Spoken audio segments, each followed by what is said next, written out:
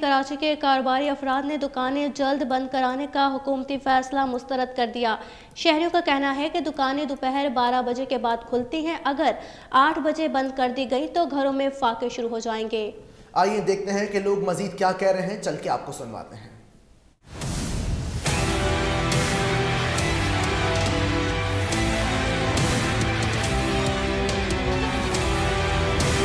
कारोबार तो वैसे ही नहीं है दूसरा नंबर पे आठ बजे मार्केटें बंद कर दो। तो कैसे लोग, कैसे जिए?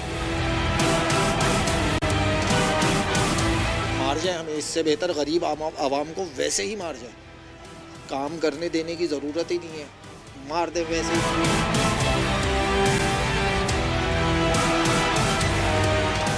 गरीब को तो रहने ही नहीं देना चाहते। तकलीफ़ में असल तो मजदूरियाँ हमें करनी है। इनको थोड़ी करनी है, बड़े लोगों को थोड़ी करनी है।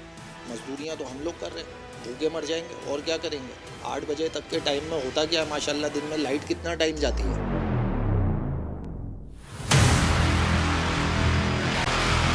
मकसद ये है कि तबाही करना है, और क्या करना है? आठ बजे अगर दुकानें बंद होती है तो लोग भूखे मरे, क्योंकि रोज़े रखने हैं ना, साल के बारह महीने रोज़े रखने हैं।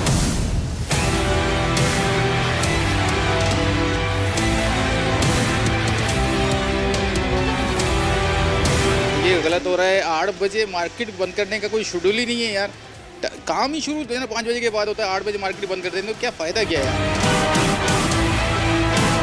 ये तो बेकार की बात है ना यार। हमारे कारोबार में कितनी तंगदस्ती है कितनी परेशानी है कितने मामला है ये तो हम जानते हैं बारह बजे तो ओपन होती हैं उसके बाद आप आठ बजे बंद कर देंगे तो क्या होगा? पहले इतनी महँगाई है हर चीज़ में मोबाइल्स के रेट्स इतने बढ़ चुके हैं, ठीक है? कस्टमर रहने के लिए एग्री नहीं है, क्या करें? मेरे ख्याल में फ़ैसला वापस लेना चाहिए, क्योंकि कारोबार पहले से है ही नहीं। कारोबार में मंदी चल रही है। ऊपर से आप टाइमिंग कम करने का बोले तो फिर कारोबार बंद करना पड़ेगा, इसका मतलब है।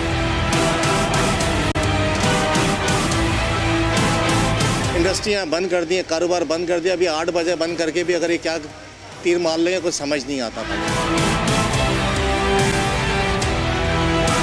देसी कारोबार का बेड़ा गर्क हुआ भाई काम धंधे है नहीं गरीब आदमी तो और परेशान हो जाएगा।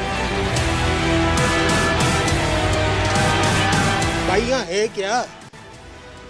यहाँ है क्या? उस पर भी ये आप करोगे तो हो गया काम।